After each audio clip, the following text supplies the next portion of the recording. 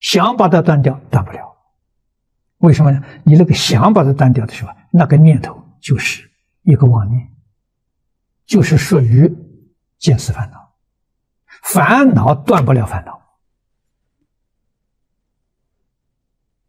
啊，只是一句佛号念到底啊，一部经学习到底，自然断了啊。底下说。若持之四业心不乱，四业心不乱是得定啊，也就是说，见思烦恼断了啊，见思任运显露，任运是什么？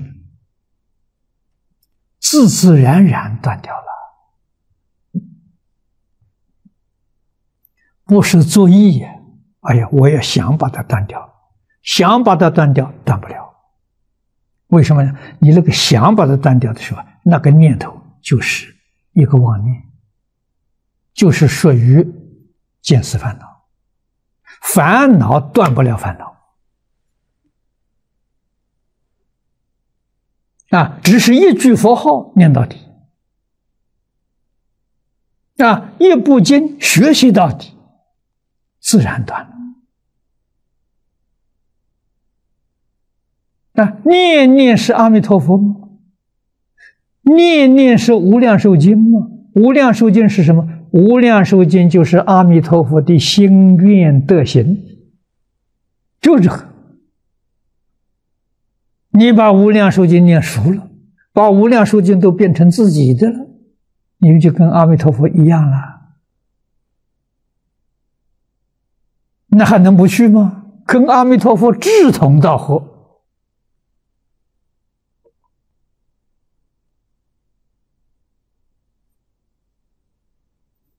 孔夫子在《易系辞传》里面讲：“物以类聚，人以群分。”呢啊，你既然跟阿弥陀佛同心同愿、同德同行。你肯定入阿弥陀佛的俱乐部，不是？你跟他完全一样吗？这就决定的神啊！啊，无量寿经要念十年，入无量寿三昧呀，真正的念佛三昧。啊，啊这是生方便有余土的条件。若知理业心不乱，何破无名一品？给诸位说，无名只有一品，无名哪还有两品的？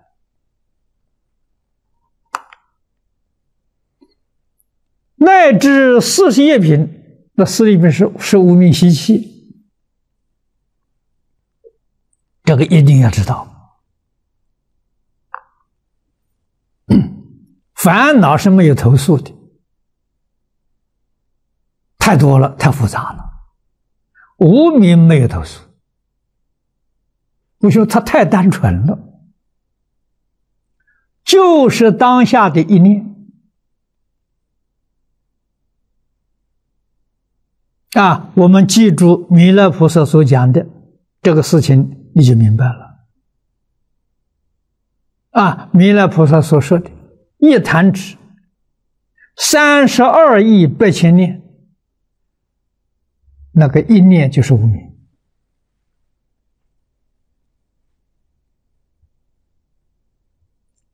这个无名没有因，这个无名也没开始。所以，佛称他做无始无明。这个无始，他没开始啊。他有没有终结？没有。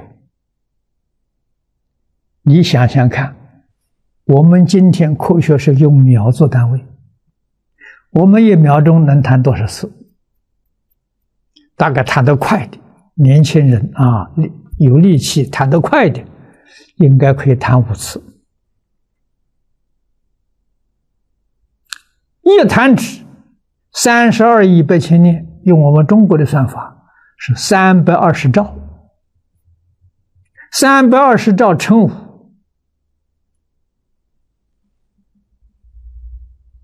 多少？一千六百，是吧？一千六百兆，就是一秒钟的一千六百兆分之一。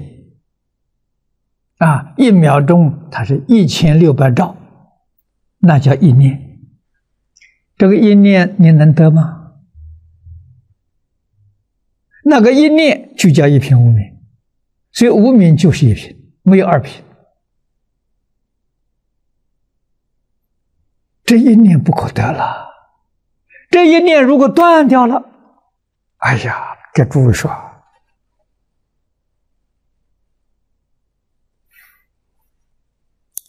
不但十法界没有了，十报图也没有了。啊，十报图为什么还在呢？就是他习气在，无名的习气变成十报庄严图，无名习气断了，十报图没有了，剩下来只有一个长极光净土，那是真的，那是自信，啊，那是永恒不灭。啊，那就是大乘教里面讲的大般涅盘那个境界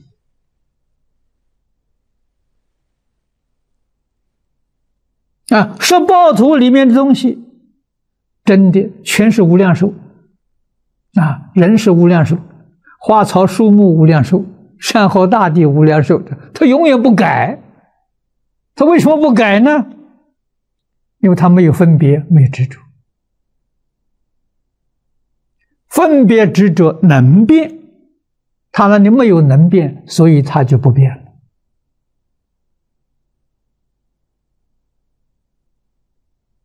啊，所以一般人把那个地方就误会哦，那是不生不灭大般涅槃的，不是的，那是很接近，它不是真的，啊，真的无时无明断尽。完全其如常寂光啊，这就对了啊！这生十宝庄严净土啊，一分真常寂光土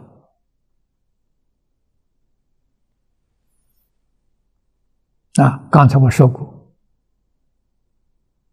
无始无明的习气完全断了。